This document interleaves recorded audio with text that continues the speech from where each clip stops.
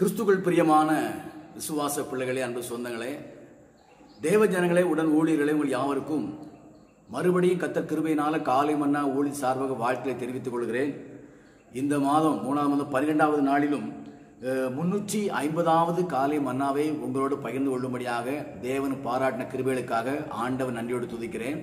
இந்த வாரம் முழுவதுமாக இயேசுவின் ரத்தத்தின் மேன்மைகளை குறித்து நாம் தியானித்துக் கொண்டு வருகிறோம். அது மிகுந்த ஆசீர்வாதமாக இருக்கிறது. இந்த நாளில் ஆதாரமாக எவரேர் புஸ்தகம் பத்தொன்பதாம் சாரி எவரேர் புஸ்தகம் பத்தாம் அதிகாரம் பத்தொம்போதுல இருந்து இருபத்தி ரெண்டாம் வசனம் வாசிக்கும்.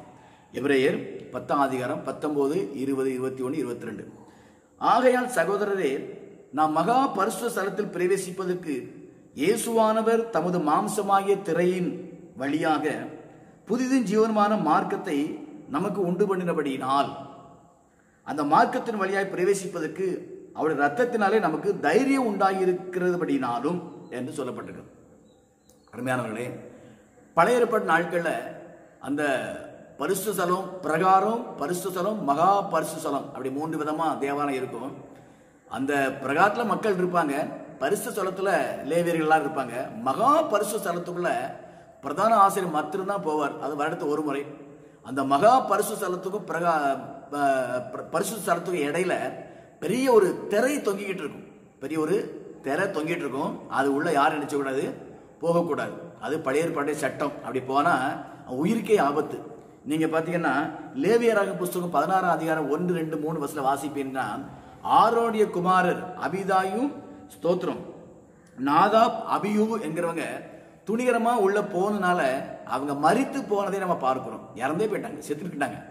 அது உள்ள போகிறதுக்கு வாய்ப்பு கிடையாது அது போறதுக்கு தகுதி கிடையாது போவதற்கு அதிகாரம் கிடையாது என்பதை நாம் அறிந்திருக்கிறோம் அருமையானவர்களே கத்த ஸ்தோத்திரம்.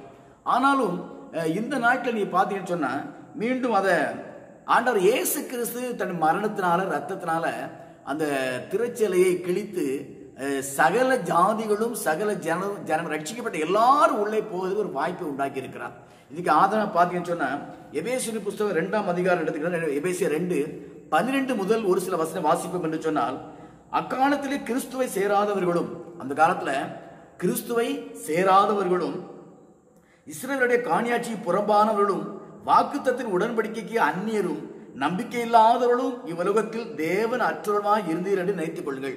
நம்மளை பத்தி தான் சொல்லியிருக்கிறார். யாரை பத்தி?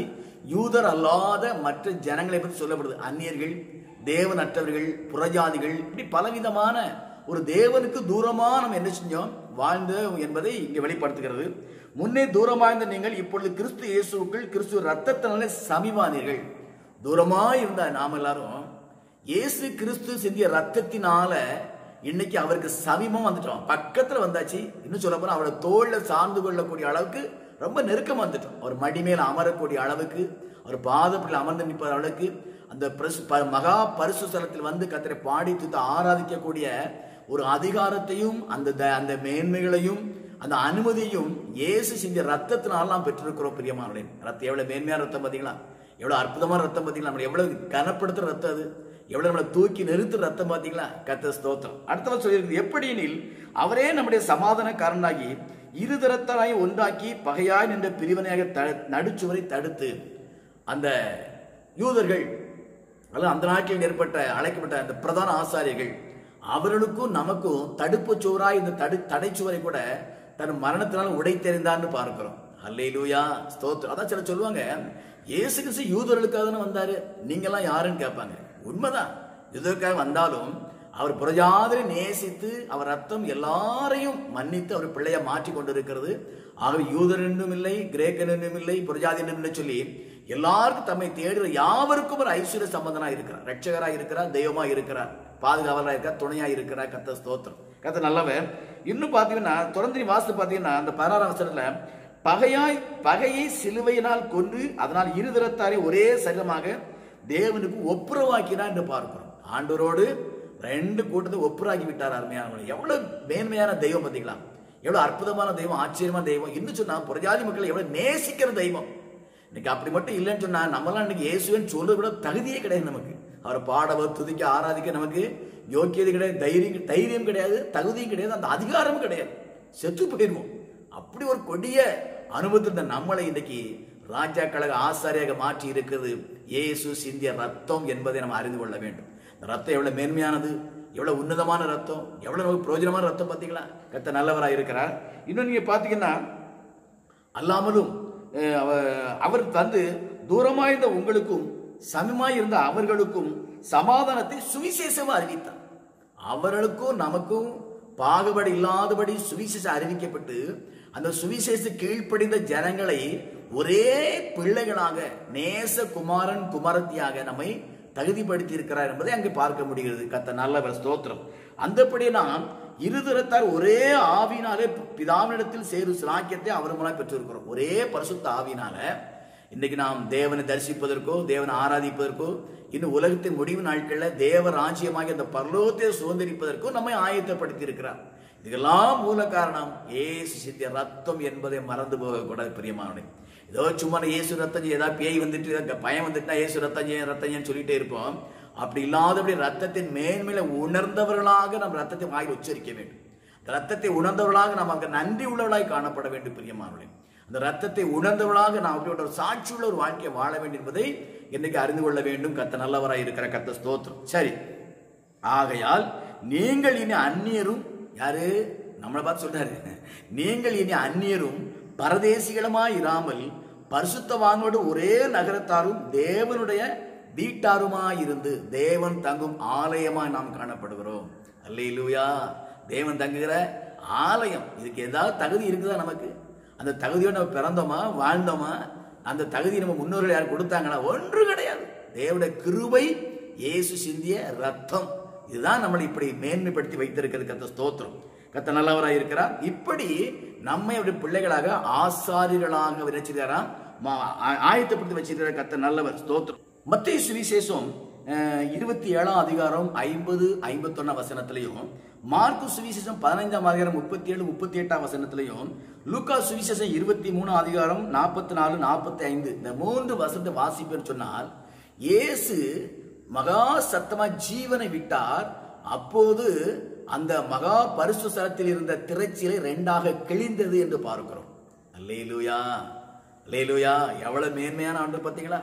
அவர் ஜீவனை விடும்போது நான் நினைக்கிறேன் அவர் ஜீவனை விடும்போது அந்த ஜீவன் நேர பரலோகத்துக்கு போகாம இந்த தேவாலயத்தில் வந்து அந்த பரிசு சந்திருக்க திரைச்சலி அந்த ஜீவன் கிழிச்சிட்டு அதுக்கப்புறம் பரலோகத்துக்கு போயிருக்கு நினைக்கிறேன். நான் அப்படி நினைக்கிறேன். பைபிள் அப்படி இல்லை.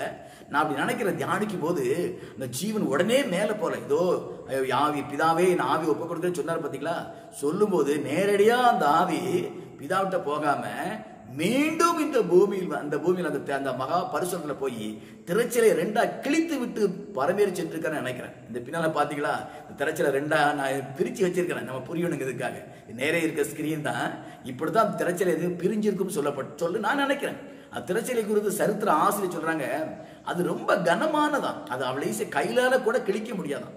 அதாவது இந்த லாரிக்கு போடுற தார்ப்பாயை விட ஆயிரம் மடங்கு மேன்மையான பலமுள்ளதாக இருந்தாது அவட மேன்மையானது ஆனா இயேசு ஜீவனை விட்ட போது அது திருச்சி ரெண்டாக கிழிந்து அந்த தடையா தடையை மாற்றி விட்டு தான் அவர் பரலோகத்து போயிருக்கிறார். எவ்வளவு நல்ல ஆண்டு பார்த்தீங்களா அவர் வாழ்நாள் முழுவதும் நமக்காக பாடுபட்டு கடைசி நாட்டில் நம்ம பாடுற சிலுவை சுமந்து ரத்தம் சிந்தி அணுவா சித்திரவதை ஆக்கி ஒப்பு கொடுத்து அடித்து நொறுக்கி கிழிக்கப்பட்டு ஜீவனை விடும்போதும் கூட ஒரு மேன்மையான காட்டை செய்து விட்டு தான் பரலத்து போயிருக்கிறார். திரைச்சியில கிழிக்கப்பட்டிருக்கிறது அருமையானவர்களை. நல்ல ஆண்டு பார்த்தீங்களா? ஸ்தோத்திரம். அதனால தான் இன்னைக்கு நம்ம எல்லாருமே இன்னைக்கு புரோஜா இருந்த நாமல் கூட இன்னைக்கு ஆசிரியர்களாக ஊழியக்காரனாக ஊழியக்காரையா காரியாக பாஸ்டராக இன்னும் சில சில சில வாழ்க்கை எப்படி இன்னும் கொஞ்சம் கூட போய் ரெவரண்டாக பிசப்பாகலாம் இன்னைக்கு இருந்துகிட்டு இருக்கிறாங்க.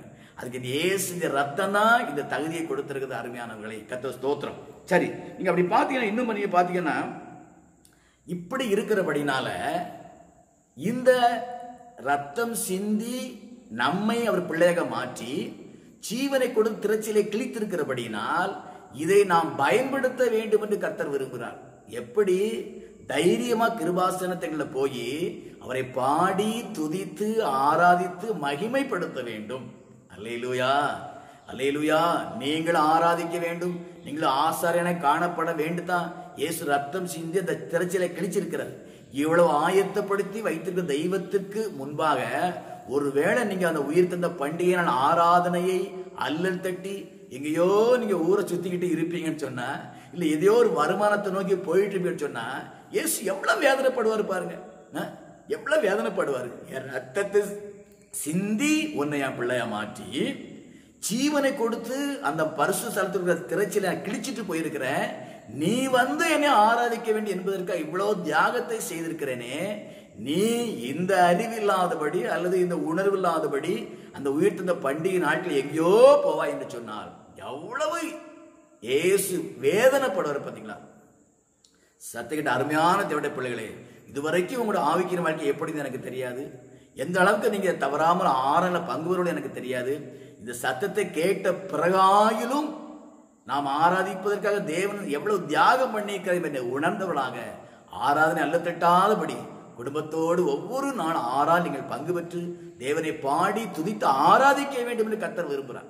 சில சபைக்கு போனா அப்படியே உட்காந்துருப்பாங்க தூங்கிடுவாங்க சில நாட்கள் அப்படியே தூங்கிடுவாங்க சில ஆட்கள் இன்னும் செல்போன்ல கால் வரும். தலையை அப்படியே கிளை கவர்ந்துக்கிட்டு செல்போன்லேயே பேசிட்டு இருப்பாங்க. திடீர்னு செல் எடுத்து காயில் வச்சுட்டு அப்படியே வெளியில போவாங்க. உள்ள வருவாங்க.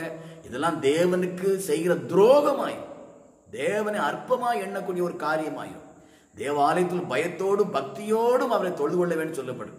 இந்த ஆறாக தகுதிப்படுத்திய நோக்கத்தை நீ சரியா அறிஞ்சிட்டீங்கன்னு சொன்னால் ஆறான நீங்க என்ன செய்ய மாட்டேங்க? ஏனோ தானம் வந்து கலந்து கொள்ள மாட்டீங்க. ஏனோ தானம் வந்து இருக்கவும் மாட்டீங்க. ஆறால் வந்து வேற செல்போனை நோண்டவும் மாட்டீங்க. ஆறால் வந்து சிறு பிள்ளை வச்சு விளையாடிக்கிட்டு இருக்க இருக்க மாட்டீங்க. ஆறால லேட்டாக வர மாட்டீங்க சீக்கிரம் போக மாட்டீங்க.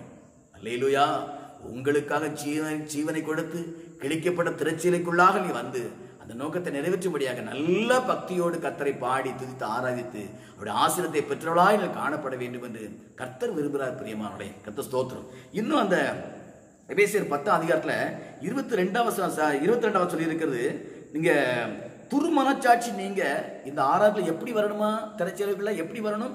துர்மனச்சாட்சி நீங்கள் தெளிக்கப்பட்ட இருதயம் உள்ளவர்களாகவும் பரிசுத்தமான எண்ணத்தோடு சிந்தையோடு பரிசுத்த அலங்காரத்தோடு அர்ப்பணிக்கப்பட்ட ஆவி ஆத்மா சரித்தை ஒப்புக்கொடுக்கப்பட்ட அனுபவத்தோடு கூட நாம் கர்த்தரை ஆராதிக்க வேண்டுமா? அல்லையிலூயா ஸ்தோத்திரம். துர்மனச்சாட்சி நீங்க தெளிக்கப்பட்ட இருதயம் உள்ள இருதயம் உள்ளவர்களும் சுத்த ஜலத்தால் கழுவப்பட்ட சரீரம் உள்ளவர்களாகும் அவ ஆவி ஆத்மா சரீரம் சுத்தமா காணப்படும். சரீரத்தை அலங்கரிச்சிட்டு வந்தா மட்டும் போதாது. பரிசுத்த அலங்காரத்தோடு வந்து கத்தரை ஆராதிக்க வேண்டும். ஸ்தோத்திரம். கொல்லப்பட்ட சரவணமும் உண்மையுள்ள இதயத்தோடும் விசுவாசத்தின் பூர்ண நிச்சயத்தோடு சேர கடவுள். விசுவாசத்தோடு பூர்ண நிச்சயத்தோடு. இதுக்கு என்னை எப்படி ஆட தகுதிப்படுத்திருக்கிறார்? இதை உணர்ந்தவனாக நாம் தேவ சமூகத்தில் வந்து கத்தரை பாடி துய்த்து ஆராதிக்க வேண்டும். அப்படி ஆராதிக்கும் போதுதான் தேவனுடைய அளவில்லாத வல்லமை உங்கள் மேல இறங்குவது மாத்திரமல்ல. தேவ அபிஷேகம் இறங்குவது மாத்திரமல்ல. நீங்கள் வல்லமையினாலும் வரங்களினாலும் அலங்கரிக்கப்பட்ட மக்களாய் காணப்படுவீர்கள். அது மாத்திரமல்ல சபையில் ஒரு தீர்க்க தரிசியாக கத்தர் பயன்படுத்துவார். உங்கள் சரீரத்தின் பலவீனத்துக்கு மாற்றி புதிய பலத்தை கத்த கொடுப்பார். சமாதானத்தை கொடுப்பார். ஆசீர்வாதத்தை கொடுப்பார். உடைய கண்ணீர் துடைக்கப்படும் கவலைகள் மாற்றப்படும். உங்கள் துக்கங்கள் சந்தோஷமாய் மாறும் பிரியமானவர்களே. ஆராதனைக்கு வந்துட்டு ஏதோ கடமைக்கு வந்துட்டு போனோம் என்று எண்ணாதபடி இந்த ஆராதனைக்கு வருவதற்காக தேவன் செய்த தியாகத்தை நினைத்து அந்த நன்றி உள்ள இதயத்தோடு அந்த விசுவாசத்தோடு அவர் விரும்புகிற பரிசுத்தத்தோடு அவர் விரும்புகிற அர்ப்பணிப்போடு கூட உண்மையோடு உத்தமத்தோடு கூட. நீங்கள் பாடித்து ஆராதிப்பேன்னு உண்மையிலேயே கர்த்தர் விசேஷ ஆசீர்வாதம் நாம் நிரப்பி தேவநாமத்தை மகிமைப்படுத்துவார் பிரியமானவர்களே சத்தியத்தை கேட்ட நீங்கள் உண்மையில பாக்கியவான்கள். இதுவரைக்கும் எப்படி ஆராய்த்தாலும் இன்னைக்கு ஒரு புதிய தரிசனத்தோடு புது விசுவாசத்தோடு நீங்க ஆராதிங்க. இன்னும் மற்ற ஜனங்களையும் இப்படிப்பட்ட ஆராதனைக்குள் கடந்து வருவதற்கு நீங்கள் உதவி செய்யுங்க ஆலோசனை கொடுங்க ஆயத்தப்படுங்க. கர்த்தர் உங்களை ஆசீர்வதிக்கவே ஆசீர்வதிப்பார் பிரியமானே ஸ்தோத்திரம். கர்த்தர் நல்லவராயிருக்கிறார். இன்னும் மாத்திரமல்ல ஆசாரியர் சொல்லும்போது பல ஊழியங்களை செய்வதற்கு கர்த்தர்களை ஆயத்தப்படுத்தி இருக்கிறார் எனக்கு என்ன ஊழியம் இருக்குது நான் என்ன ஊழியம் செய்ய சொல்லாதபடி இயேசு கிறிஸ்து செய்த நன்மைகளை அவர் செய்த தியாகங்களை அவர் ரத்தம் சிந்திய நோக்கத்தை அவர் மறித்த நோக்கத்தை அடக்கம் பண்ணப்பட்ட உயிர் தெழுந்த நோக்கத்தை மீண்டும் சீக்கிரம் வரப்போகிறார் என்பதையும் இந்த உலகத்துக்கு அறிவிக்கிற ஒரு ஊழியக்காரனாக ஊழியக்காரியாக நீங்கள் காணப்பட வேண்டும் கர்த்தர் விரும்புகிறார். கடைசி நாட்களில் நீ அநேக நல்ல ஜோம் பண்ணிட்டு இருக்கிறாங்க. சிலுவை பாடு தியானிச்சுக்கிட்டு இருக்கிறாங்க. அப்படியே தியானிச்சு அப்படியே ஜோம் பண்ணிட்டு போய்விடாதபடி சிலுவை இந்த சிலுவையின் மேன்மைகளை சிலுவையில் தந்த நன்மைகளை இந்த உலகத்துக்கு அறிவிக்கிற ஒரு ஊழியக்காரன் ஊழியக்காரியா நீங்கள் காணப்பட வேண்டும் சொன்னா அவர் ரத்தம் சிந்தி உங்களை ஆசாரியனாய் ராஜாக்களை மாற்றி இருக்கிறார் இந்த உணர்வோடு நன்றி உலகத்தில் காணப்படுங்க. கத்தரிச்சு உங்களை ஆசிரியத்து உங்களுக்கு கொண்டு அநேகர் ஆசிரியப்பார் பிரியமானவர்களே ஜோம் பண்ணுவோமா? அன்பின் பரலோக பிதாவே அருமை ஆண்டவரே இயேசுவின் நாமத்தை நன்றி செலுத்துகிறோம். அந்நியராய் புறஜாதியாய் தேவன் அற்றவளாய் இருந்த எங்களையும் நீ சிந்த ரத்தத்தால மீட்டெடுத்து உமது பிள்ளையாக மாத்திரமல்ல உடைய ஊழியக்காரர்களாக ஆசாரிகளை மாற்றி இருக்கிற ஆண்டவரே ஸ்தோத்திரம். உடைய மரணத்தில் ஜீவனை விடும்போது அன்றே தடையாயிருந்த ஆண்டவரே அந்த திரைச்சலையை கிழித்தவராக நீ பரலோகம் ஏறிச்சிட்டு இருக்கப்பா இன்னைக்கு தைரியத்தோடு அந்த கிருபாசன அந்த மகா பரிசுத்தல் வந்து நீ பாடி தூய்த்து ஆராதிக்கிற பாக்கியத்தை கொடுத்தீரே. அதுக்கு நன்றி செலுத்துறோம். துணிகரமாய் வந்து விடாதபடி. பயபக்தி இல்லாமல் வந்து விடாதபடி. ஏனோ தான் வந்து விடாதபடி. பயத்தோடும் பக்தியோடும் பரிசுத்தத்தோடும் விசுவாசத்தோடும் கடந்து வந்து ஆராதித்து இப்படி எல்லா ஆசீர்வாதங்களையும் பெற்ற மக்களாய் காணப்படும் ஆண்டவர் கிருபைதான். தேசத்திற்கு ஆயத்தப்படுத்தும் ஆண்டவரே ஸ்தோத்திரம். பக்தி உள்ள மக்களை தெரிந்து கொள்ள சொல்லி தெரிஞ்சப்பா எத்தனையோ ஜனங்கள் இன்னைக்கு ஆண்டவரே ஆராதனைக்குரிய தெய்வம் நீர் இருக்கும்போது நீர் உண்மை விட்டு எங்கேயோ ஆராதிக்கிற மக்கள் கூட்டம் உண்டு. அவர்களையும் உம்மை ஆராதிக்கிற மக்களை மாற்றி ஆசீர்வதித்து இப்படி வரைக்கும் ஆயத்தப்படுத்துகிறாங்க ஏசுவி நாமத்தில் ஜெபிக்கிறேன். நல்ல பிதாவே ஆமே கர்த்தர் அப்படி ஆசீர்வதிப்பாராக. கத்த ஸ்தோத்திரம். மீண்டும் கத்த சித்தமான நாளை ஒரு புதிய காலை மன்னாவோடு சந்திக்கிறேன். அது வரைக்கும் தேவ கிருபை நம்மளை தாங்கட்டும். மாரணாதா இயேசு வருகிறார். ஆயத்தப்படுவோம் அநேகர் ஆயத்தப்படுத்துவோம். கர்த்தரும் ஆசிர்வதிப்பார். ஆமேன். அல்லேலியா. கர்த்தர் ஸ்தோத்திரம். ஸ்தோத்திரம்.